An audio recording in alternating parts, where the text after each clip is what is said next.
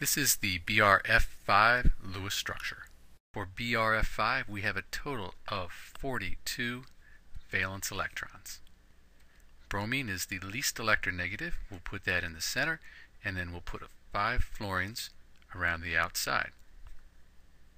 We'll draw single bonds between the atoms for a total of five single bonds, so 10 valence electrons.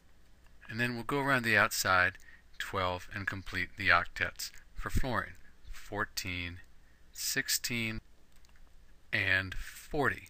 So we've used 40 valence electrons. The fluorines all have octets, but we have 42. So we have two additional valence electrons. And we're just going to put those right here on the bromine. Bromine is in period 4 on the periodic table, and it can have more than 8 valence electrons.